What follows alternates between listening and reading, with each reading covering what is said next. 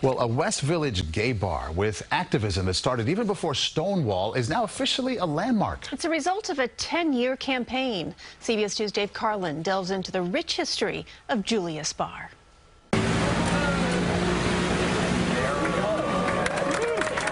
This dedication ceremony in April unveiled a plaque spelling out the story of Julius Bar at 159 West 10th Street. Now, this building dating back to 1825 is a freshly designated city landmark, immortalizing the events of a fateful night in 1966. Three years before Stonewall, uh, a couple of brave individuals got together and said, We're going to challenge the rules that basically make gay bars illegal. We're going to sit at a bar, we're going to say we are gay, and we demand to be served a drink.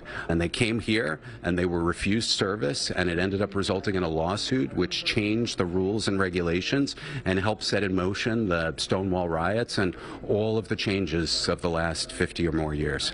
And over here in Julius Bar's this photograph of the 1966 sip-in.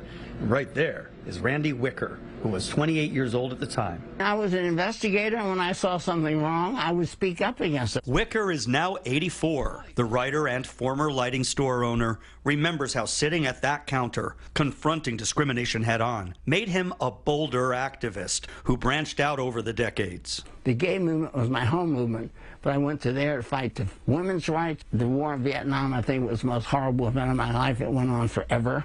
I was in the first march against that. I'm just so happy. Helen Buford has owned Julius Bar for the past 23 years. It became my mission that as long as I'm here, this will always be Julius and it will always be a gay bar. I am drawing strength from this site because we need to have the same kind of courage that they had. It is just important for us to visit locations like this to remember this was not long ago and we have an obligation and responsibility to say we're not going backwards, we're going forward. From civil disobedience in that very different time to a place warm and welcoming to all with a designation and plaque to be proud of. In Greenwich Village, Dave Carlin, CBS 2 News.